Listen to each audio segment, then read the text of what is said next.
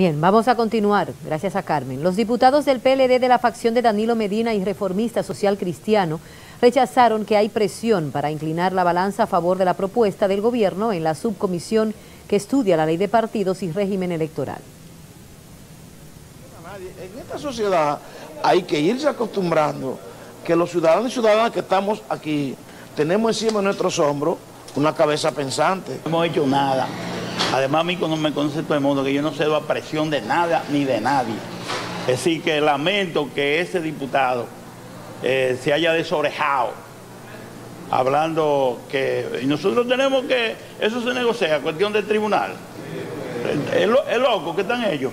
Y con eso no van ellos a, nosotros a, a, ni nos van a hacer echar para atrás. Partidos y electoral de 5-3 votaron a favor de la iniciativa del presidente de la República.